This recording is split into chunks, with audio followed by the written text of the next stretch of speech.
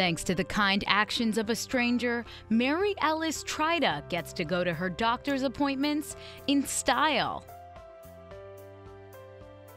Steve Hipolito first heard the story after the eight year old's mother, Kelly, posted on Facebook asking how she could get from their town of Bridgewater, Massachusetts, to her daughter's hospital in Boston.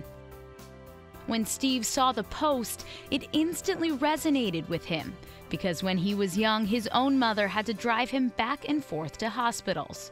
So Steve had the chance to pay it forward with his own limo company. Now, every appointment Mary Alice has for her rare genetic condition called brittle cornea syndrome, which affects her skin, organs, and tissue, she rides first class in one of Steve's limos. This little princess is finally getting the movie star treatment she deserves.